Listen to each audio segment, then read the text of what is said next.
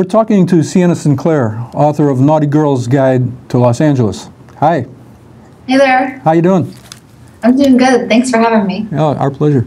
Um, define naughty. Naughty is sexy. It can be, you know, anything that makes you feel confident about yourself.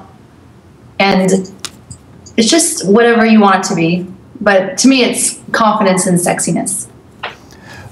The book uh, is, is really good, and it seems to be written for women, uh, whether they're traveling alone or in a group, you know, a group of ladies Yeah, it's, going. for, it's written for women, but men can pick it up too.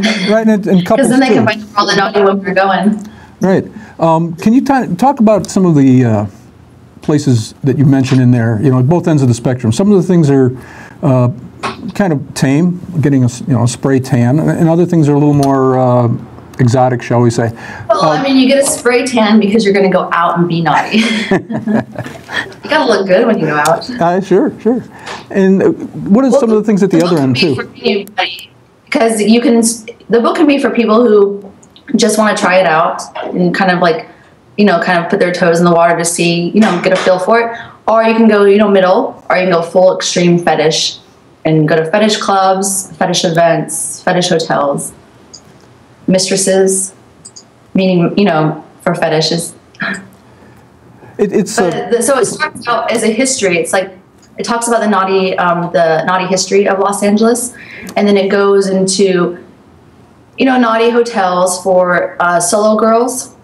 So if you want to travel to LA by yourself, totally fine. There's naughty things that you can do here, and it also touches on you know girlfriends getaway, lovers getaway, and then it just kind of goes more into because it's also for locals also. So you'll notice like a lot of dance classes, you know, on how to feel be more naughty, feel more sexy, and then it also goes into the sexiest clubs in LA, restaurants, um, bars, and then it goes into like the really naughty stuff, you know, the nightlife at nighttime, swingers, nudist beaches, and all that stuff, fetishes.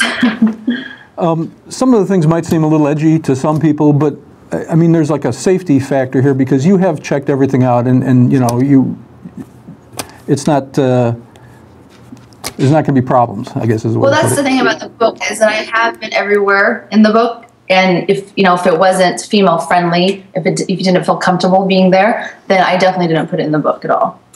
You know, if you're walking up to a strip club and there's people security with guns out, I'm not going to put that in the book for a lady. And um, if people want to learn more about you or about you know, where to order the book and things, where can we send them? Well, you can get it on Amazon. You just search my name, Sienna Sinclaire, or you can get it on my website at naughtytravelguide.com. And if you go there, you can get a signed copy.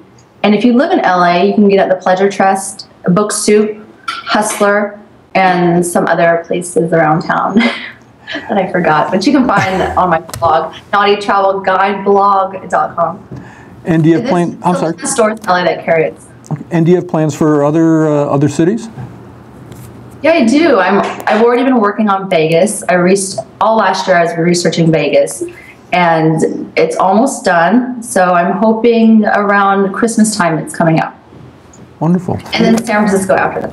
Excellent. Well, Sienna, thank you very much for taking the time to talk to us. It's a it's a fine book. We uh, we we were surprised. It, Thank it's hefty. It's it's glossy. It's really nice. So good job. Not. It's got sexy photos in there too. It's a great coffee table, history, and travel guidebook. Indeed. Thank you.